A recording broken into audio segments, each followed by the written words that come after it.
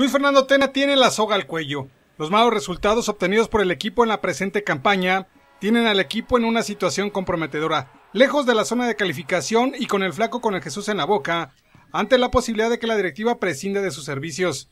En caso de salir, sería la segunda ocasión que deje el banquillo cementero.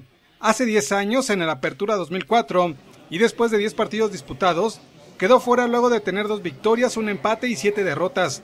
Dejó a la máquina en el sótano de la tabla general con apenas 7 unidades.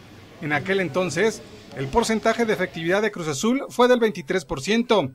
En la actualidad es del 37%, es decir, no está tan lejos de aquella ocasión que la directiva que encabeza Guillermo Álvarez le dio las gracias. Y lo peor es que tendrá poco tiempo para preparar el partido de la jornada 9 ante los rojinegros del Atlas, ya que deberá encarar el partido de la Liga de Campeones de la CONCACAF.